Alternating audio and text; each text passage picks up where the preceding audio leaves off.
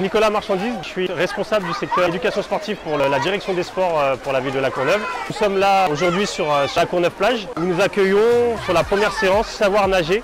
C'est un dispositif qui a été initié par le projet qui s'appelle Impact 2024 et qui propose aux enfants âgés de 4 à 12 ans des sessions d'apprentissage de la nage.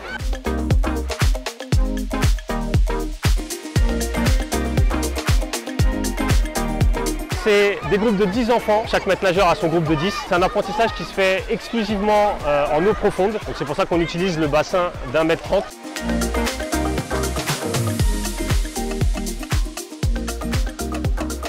On voit un peu le niveau initial des enfants avant de commencer euh, les séances. On les fait rentrer dans l'eau et on leur demande de se déplacer comme ils le veulent. Et euh, comme ça, on peut voir un peu de quel niveau ils commencent. Et comme ça, après pour nous, ça nous permet de mieux cibler les objectifs et de voir jusqu'à où on peut aller avec eux. Et l'objectif pour les 7-12 ans, c'est d'atteindre le test du pass nautique. Et l'objectif pour les 4-6 ans, c'est d'atteindre le, le test de l'aisance aquatique. Le savoir nager est très important. Les accidents en piscine privée notamment sont les accidents qu'on retrouve le plus fréquemment quand ils vont se baigner, que ce soit en rivière, en lac ou alors euh, à la mer. Le but de ce dispositif-là, que tout le monde puisse apprendre à nager euh, dans des bonnes conditions. Le dispositif contribue à, diminuer ce triste nombre de noyades sur les périodes estivales.